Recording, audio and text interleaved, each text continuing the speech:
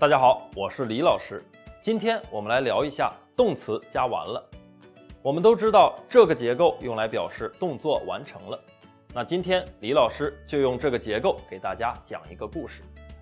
我和朋友去餐厅吃饭，我们点了很多菜，我吃饱了，不想再吃了，我就跟朋友说：“我吃完了。”朋友回答：“你吃完了，那我把剩下的菜也吃完了。”这里吃完了有两个意思，第一个意思是表示吃饱了，第二个意思是表示菜没有了。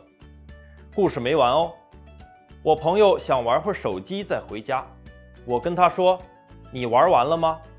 他非常生气，因为玩完了有一个意思就是完蛋了。好了，你学完了吗？我们下期再见。